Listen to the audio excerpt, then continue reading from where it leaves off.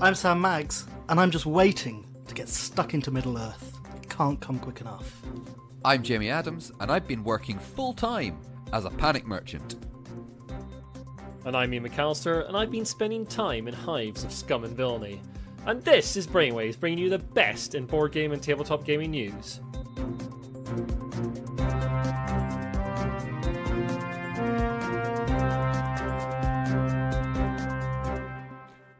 And these are the headlines for the week of the 18th of February 2019. Bridge in troubled waters as top player suspended for doping. Steamy situation as Age of Steam comes back to Kickstarter, but whose game is it anyway? And Asmodee can't control its bears. All this and more on this week's Brainwaves. The world of bridge this week has been rocked as one of its top players has been banned from the sport for doping. Geir Helgemo, a Norwegian born and well regarded top player, had drug tests taken in Orlando, Florida last year at a bridge competition. Uh, these co- these results have been double checked, and he tested positive for synthetic testosterone and the female fertility drug clomiphene. Now, you might be wondering why doping actually matters in the world of bridge. But bridge is officially an Olympic sport. Who knew? It therefore needs regulated by the International Olympic, Olympic Committee, the IOC. It's been an Olympic sport since 1990. And although uh, the bridge organization has said that testosterone and this drug, uh, clomiphene, have no real bearing on the world of bridge, like it doesn't make you more focused, um, it's still a drug that is banned by the IOC, and therefore this guy has been banned from Them's bridge. the rules. Yeah, those are the rules. Geir was unsure how the substance got into his system, but uh, after a little bit more questioning, he seems to think that it might have been through supplements given to him by a bodybuilder friend of his to lose weight, uh, and that the drugs may have been in that. Just an amazing story. Well, there you go. Someone getting dr- banned from playing bridge for It's taking sad, really, testosterone. though, isn't it? Because it is one of those things where the bridge committees and stuff have come out and said, yeah, it doesn't affect your gameplay in the slightest. Yeah, But it is just a case of, well, that's the rules because it's part of the Olympic Committee of, of Games. I think I love the fact that it's an Olympic sport, and it's yeah, it's brilliant, isn't it? it's a tabletop game that is an Olympic sport.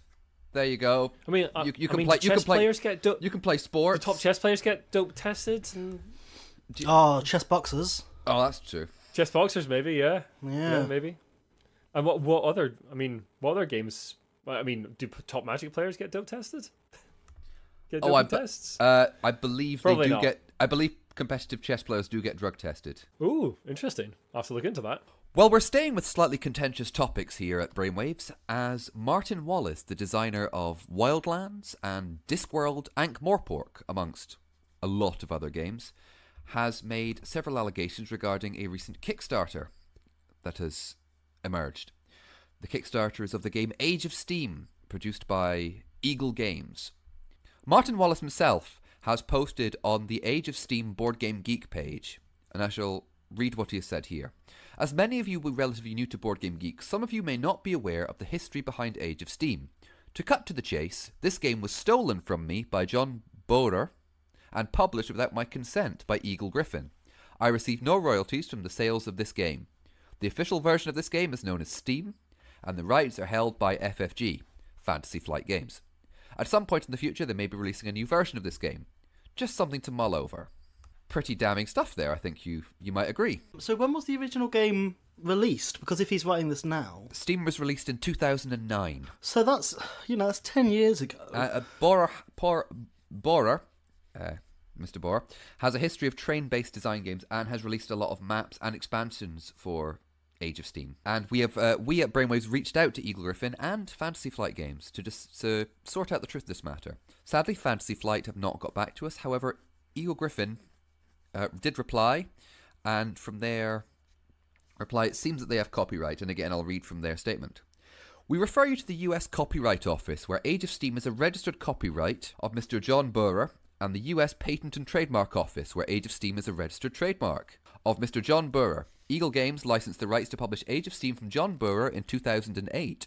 Eagle Games has published the game for the past 10 years with the kind consent of John Bohrer and without further design attribution.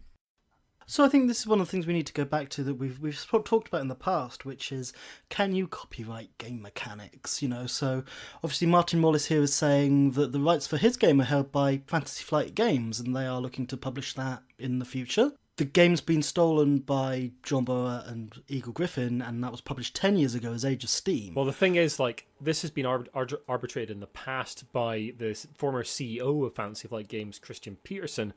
Uh, he uh, we'll link to this in the show notes. He has previously stated he tried to arbitrate a mediation between Wallace and Bohrer. The judge in that case was uh, a, a, gentleman called Dr. Franz Benno Delonge, a German game designer himself. He found in favor of Bohrer at the time. I don't have the exact details of the case there, and I couldn't really find any sort of deeper information about exactly what happened during that case.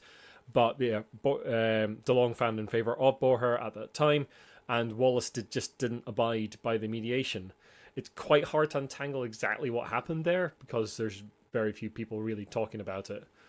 So I don't know exactly what happened, but it seems that Bohrer does have the rights to Eagle Gryphon bought those rights in good faith from Bohrer and are publishing a new version of Age of Steam and absolutely believe they have the right to. And by for all intents and purposes, it looks like they do. Well, as always, that's something we've mentioned on the show this week, so we're likely to update you all if we see any news about it in the future. But this seems to be something that's been going on for 10 years, so who knows when that will happen. Maybe we're the ones to finally break it, but I doubt it. We do a lot of news on the show about mergers, um, very often involving giant monopoly company, if you excuse the pun, Asmodee Games. But this time, I just got disapproving looks from my co-hosts. Are you um, no, you're not having disapproving looks from me. Just me. this time we're talking about someone leaving the Asmodee group, and that is Heidelbär Games. They're a German company that joined forces with Asmodee back in 2017 to do some distribution stuff, uh, assumingly around around Germany and some of Europe. But now they're just parting ways for Heidelbär to go off and be their own independent company to be honest, not much more has been said about that. I suppose it's just between the two of those companies. I suppose the question is are we going to see more things like this happen? Has board gaming got to the point where we have got a couple of companies who own everyone, and now a lot of people are going to go off and, and do it for themselves? You know, is it maybe going the way that a lot of independent music record labels and things have gone? Stuff like that.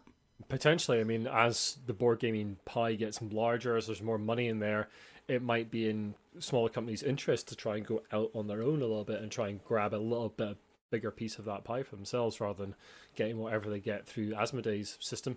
Who knows? So I, th- I think we'll still see more mergers than we will splits, but it's interesting to see a small company going out on their own, and we wish them all the best for that. Absolutely, we do.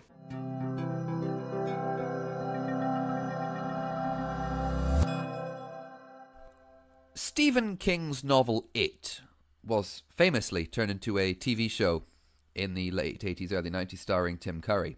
And as again last year came out as a new film with Alexander Skarsgård as Pennywise the Dancing Clown. And we've got a sequel coming this year, It Chapter 2. And you may be wondering, why are you talking about films? This is not a film podcast, this is a board game podcast. Of course it is. And the reason I'm talking about it is it is getting the board game treatment. Dun dun dun dun dun. dun. Series of board game releases tied into the film are being released, including Cluedo and your favourite and mine, Monopoly. Alongside this is one new game called It Evil Below. I'm afraid there's no word on publisher or designer yet. All we know is a little tagline. Hasbro, surely. Monopoly and Cluedo, definitely. But It Evil Below. Remember last podcast we were talking about uh, the company that got bought by Funko Pop, and they had a lot of licensed Extremely stuff. So true. Maybe them. It Evil Below has been uh, labeled as a cooperative dice and card game that challenges all members of the Losers Club to work together and drive Pennywise back into hibernation. Now, I've never read it, nor have I ever seen it. Have either of you, gentlemen? I saw the original TV series and it terrified I the hell out of me. I saw the latest film, and my partner's currently listening to the audiobook extremely long. That's all I really know. Um, but apparently the book's fantastic, and I I enjoyed the film that came out last year. I mean, it's it's interesting to see them not just going for like tie like direct tie-ins to established board game franchises like Monopoly and Cluedo, and that they are actually producing a new game. I mean, it might be quite simple, but it, it's it's it's interesting to see them producing anything original off that as a board game rather than just churning out a Monopoly and Cluedo uh, Cluedo board with the it sort of sheen on top. Maybe we'll see more of that kind of thing, tie-ins to big films uh, for for board games. Though most film tie-ins are famously terrible. Although the main purpose of gaming is to relax, have a good time with their friends, they can also be used in a way to help communities talk about uh, problems in the local area. And in the, the case of our next story, this has been used to help people in Istanbul talk about housing projects and development of the city. This has uh, this is a game called Imaginable Guidelines from designer Alexis Sanal. I hope I'm pronouncing that name correctly. An Istanbul-based architect. There was a lot of problems in Istanbul with companies, established companies coming in and taking over green areas and developing the areas in ways that local people didn't like. And she saw that both sides were entrenched in their positions, leaned to what Snell saw as an endless loop of bad decisions guided by emotional perceptions. Uh, she picked up on how her children were playing card games like Dixit and Exploding Kittens and sort of cooperating and helping each other out. And she wanted to bring that aspect of games to problems in her city. Uh, the result is this game called Imaginable Guidelines, which is a deck of 101 colourful, oversized cards available in Turkish and English. We'll put a link to the game in the show notes. And the gameplay is consensus based and allows participants to decide what topics are necessary, desirable, or irrelevant to particular problems in their community, allowing them to talk about things in a slightly a slightly abstracted way rather than getting in, getting into heated arguments that don't get anyone anywhere. They can talk about exactly what they want out of their local communities. And there's a lot of pop up of this kind of game worldwide. Uh, in my local playtest group, uh, I have a lady who's brought along a game. She's involved in the food sort of UK food chain, and she wants to get people around the table, like farmers, distributors, supermarkets around the table, to talk about the various issues with that food chain. And she has designed a game that she's been bringing along to the club to test and, and work out, and that's really interesting. And uh, there's also a couple other projects uh, mentioned in the ar- mentioned in this article I came across. That includes Play the City, based in Amsterdam, and a game called Method Kit for Cities by a Stockholm-based design firm, Method Kit. And both both these companies are making games to help people sort of talk about issues in their uh, in their society, in their towns and cities, and yeah, it's a really cool uh, sort of expansion of the sort of board game genre. I think. What do you guys think? I think it's really interesting that these things are being used in multiple industries and multiple circles of people. That actually one way to get grown-up adults talking sensibly is to turn it into a game. You know, could you possibly be referencing to anything, Sam? but it's strange, right? But hey, if that's what needs to be done, that's what needs to be done, and it seems to be working. And hey, th- that's interesting. And these are the kind of things that I'd like to play, if that's even the right word, more of and look into. Play is definitely the right word, because it might, you know, take a complex issue, be it political, economical, social, whatever. If you not boil it down and reduce it, because that implies, you know, making it too simple and cutting out a lot of issues. But boiling it down to a game and you go, okay, these are some very defined mechanics. Get people around the table, play this game, talk about the game afterwards. Restoration Games has been having a very good run of luck lately. Uh, game company set up by Rob Daviau, the creator of the Legacy mechanic and behind such games as Seafall, Pandemic Legacy, and Betrayal at House on the Hill Legacy. Well, a lot of Legacy games, funnily enough. His studio, Restoration Games, was founded to bring life back to old games that maybe have fallen out of people's radar. He feels they deserve a new lease of life. So far, the games that have been released are racing betting game Downforce and the hunk of plastic and marble chucking fun that is Fireball Island: The Curse of Vul-Kar. Now they've announced a lot of new games recently, over the past couple of months. And the newest announcement came out several days ago. The new game is called Unmatched Battle of Legends. If you if that doesn't sound familiar to you, it's a reworking of Star Wars Epic Duels, which is a game that became the basis for HeroScape, which might have a lot of folk excited about that. Not only is it going to be re- a revitalization of this game, it'll be actually a line of products. Unmatched is a minis dueling game. Uh, minis, miniatures, I mean, sorry. And there's going to be different factions. Basically, you are playing a hero who has a unique deck of cards. So, for example, you're going to have people like Alice from Alice in Wonderland, or King Arthur, or Sinbad the Sailor. I've seen a Robin Hood and Bigfoot miniatures out there as well. That's just the first box that's coming out, and the different heroes you can swap and mix and match and play against whoever you want. The line of products, first ones is Le- Battle of Legends Volume 1. Uh, there's also going to be Buffy the Vampire Slayer. There's going to be Bruce Lee sets, and they're working with Mondo Games, who are publishers of The Thing, Infection at Outpost 31.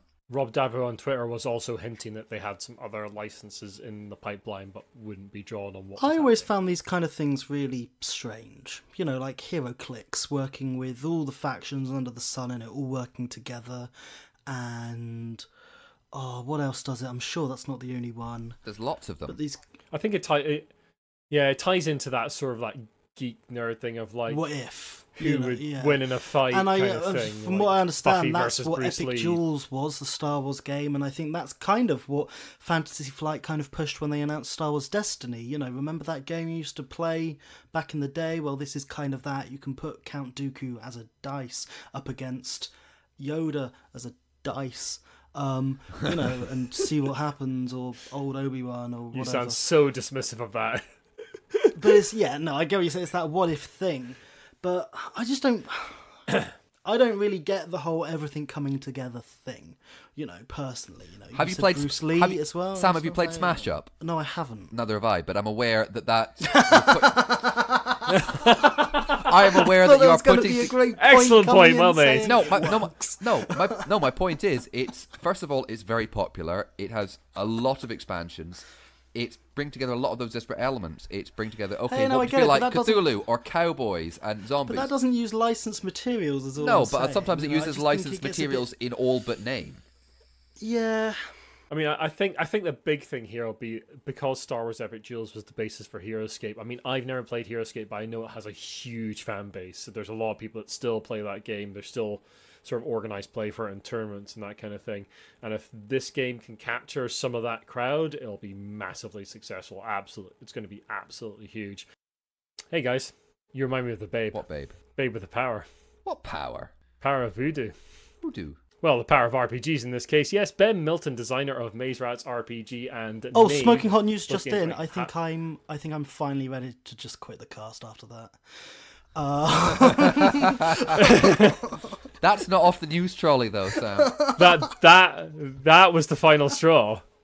We've done a lot worse than carry that. on because it's interesting news. Uh, yeah, Ben Milton, designer of Maze Rats RPG and Knave, tweeted uh, a couple of days ago that he had been hired to help out with the Labyrinth RPG. This is coming from publisher River Horse Games, who have designed the mechanics, and Ben Milton has written the story. This is uh, he says this is 90 linked scenes. And that the RPG sort of has a sort of quite a linked sort of scene structure to it. It's got a 13 hour countdown clock, which you have to beat. So it sounds a lot more structured than other RPGs, which might be good for new players. Now, we have not had the best time with River Horses games in the past. The Labyrinth board game was a sense. bit lackluster. Uh, but the, the certainly the My Little Pony RPG has done pretty well, from what I understand. Uh, licensed games are definitely River Horse's thing. Maybe this will be excellent. I mean, I can't. I personally don't really have a desire to roleplay in that universe. I love the film, but the universe itself is just like Well, it Yeah, seems like the universe itself is the film. Quite frankly, you know, Yeah. that is that. It, Uh, I get that. I mean, if it, if it's a more structured RPG, you know, more along the lines of like a sort of choose your own adventure kind of thing with RP more RPG elements in it, I can see that working. what I what, what I take away from the board game that I think is probably going to come through here, you know, especially because they said it's linked scenes, thirteen hour clock countdown. I fully imagine that this is you're going to be playing through the film, you know, and because that's what the board game was. You know, it was very much you're just going to walk through the movie, and at the end you have to say the thing that she says at the end to win. And if you don't know that, this is actually part of the game, people. That to win the game, you just have to recite something, and if you don't know what that thing is, then you don't win the game. It is on a card if you don't know wow, it. I've never played the Labyrinth board game. But that's- No, no. To, But no, to be fair, it it is on a card if you don't know. Fair enough, the- but the actual still, thing. come on, that's not a mechanic, you know. And I, to be honest, I quite like the idea of 90 linked scenes and stuff, and maybe playing something that's very structured and railroaded can sometimes be good, you know. Yeah. But it just depends. Absolutely, how much choice have you got within that? You know, going from their previous board games that I've played, admittedly, it is only the one. Um, n- not particularly good impressions, but as you were saying, you know, the My Little Pony stuff that's out there has done great guns. But maybe is that because of the license more than anything that actually people just find it a big novelty to play in the My Little Pony universe, and you know, and that has a huge following in this culture, in a sense, you know, that this kind of geek culture. Um, so is that a big part of its success rather than the actual fact that it's an engaging RPG?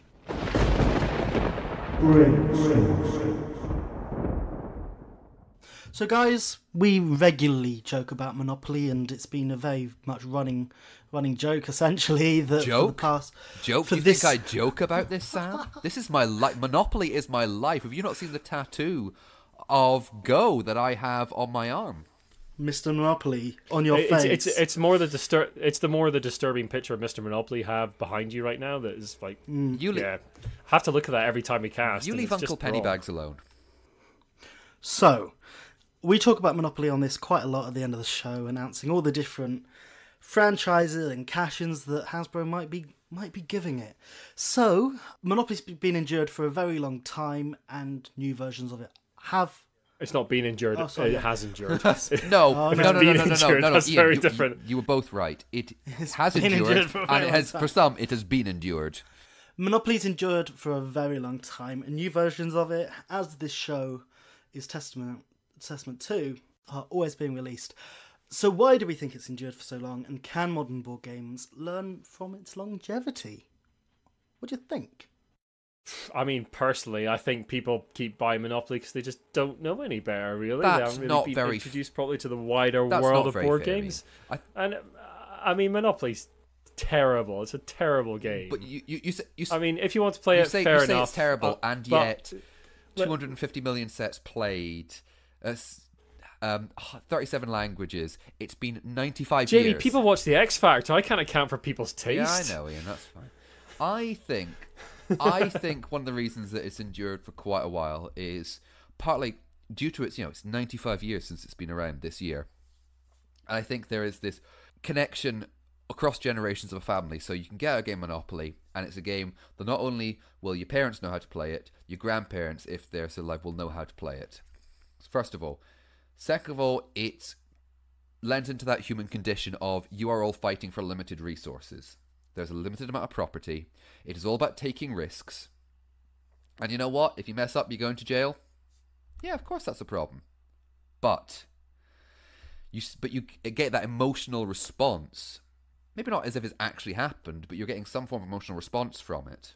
So do you think it's sort of like the, the sort of like you mentioned the family thing, like parents playing it with their kids and that kind of things? Do you think there's a quite hard nostalgia factor there in the longevity of Monopoly and its I'd, and how I'd much say there definitely endured? is.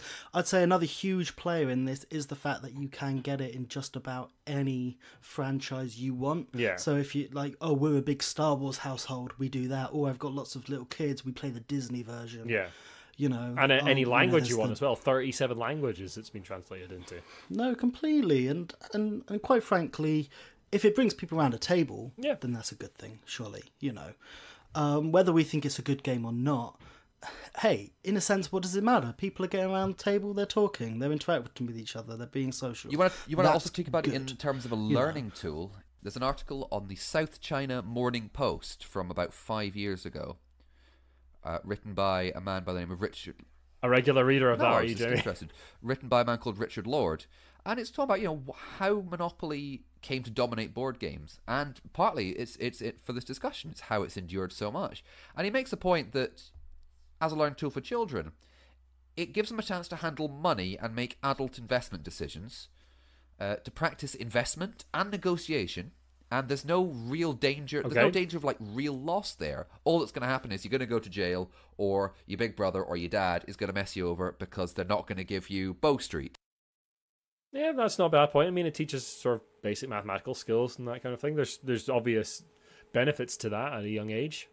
But do you think it's do you think most of the sets are being bought for like obviously there'll be collectors out there buying every single version of Monopoly because that's just the world. But do you think the majority of sets are being bought for sorry younger children or like I early teens, uh, or is it I being I bought thi- by think- adults? Yeah, I think it's mostly, being bought. For, mostly being bought as I think presents it's- I for think it's people, being bought basically. for presents. I think it's being bought for a wide range, for that nostalgia factor. But do, do we think like so?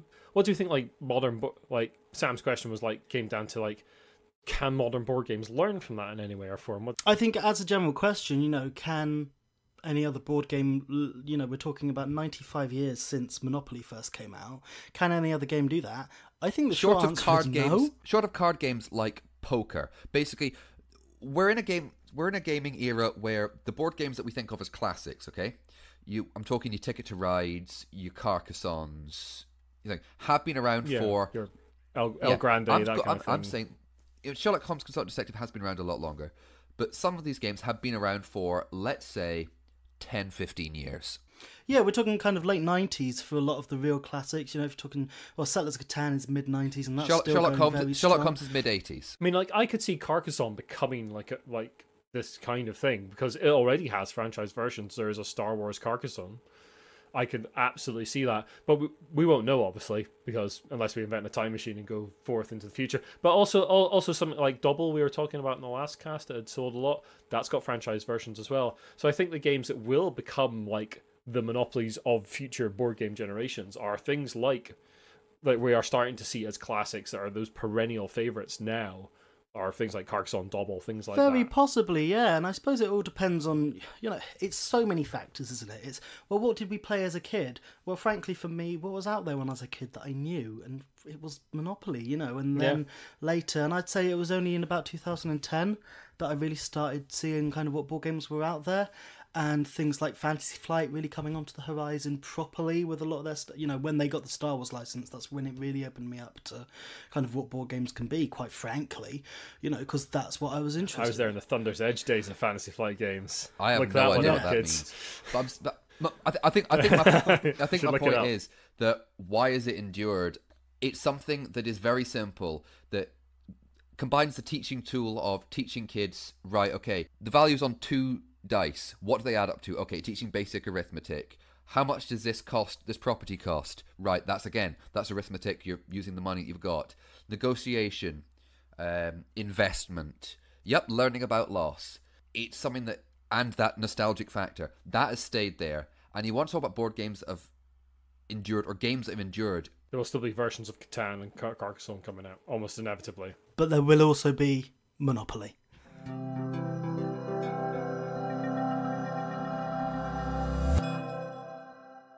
Well, that's about all we have time for on this week's episode of Brainwaves. But just before we go, we got a little bit of news sent to us by Keith McLennan, who's a friend of the show and a local designer that I know. And he came across a rather expensive card. If you want to invest in card games, folks, then you should invest in classic Magic the Gathering cards because a Black Lotus in near mint condition just went for $166,000 or thereabouts uh, nearly double what the same card had gone for in similar condition just last July. So, yeah, we'd like to give a big shout out as usual to our executive producers, Lucky Sparrow Gaming Cafe, but especially this week because they made a lovely piece of fan art for us of a giant, giant brain and brainwaves board game. Uh, you can see that up on our Twitter feed. I will also put it up on the Facebook page tomorrow. That is the 13th of March, and you can have a look at that. But it, yeah, just a lovely, our first piece of fan art, and we're really, really happy with that. It's thank you very much, guys. Really It's Thank appreciate you very amazing. much. Yeah. It's very surreal to see someone being creative over things that you've just kind of sat and chatted about for a year. Yeah. Like, It's very strange. Yeah, very, very touched by that. Thank you so much, guys. We really, really appreciate that. If you would like to join the, uh, the Lucky Sparrow Game Cafe and become an executive bu- producer, or just throw us a dollar or two, then you can check out our Patreon. That gives you access to the extended version of this cast. And believe me, this one is going to be pretty damn extended. It's going to be a long cast for the extended ver- version, folks. And $2 gets you access to our Idle Thoughts podcast, which is a monthly ish podcast that Sam, Jamie, and I put out just talking about the games we've played and what we've been enjoying. Thanks very much for listening. If you like what you've listened to, then the best way to help us out is just to share the podcast around on your social media platform of choice, and especially if you can drop us a review on your podcast platform or leave us a rating on iTunes if you are a fruit based device user. You can also follow us on Twitter at The Giant Brain, Instagram at Giant Brain UK, Facebook The Giant Brain, and our website is giantbrain.co.uk. And if you'd like to get in touch with the show and put forward some suggestions for brainstorm or anything else you'd like to see on the show, then get in touch with us by email at giantbrainuk at gmail.com. Thank you very much.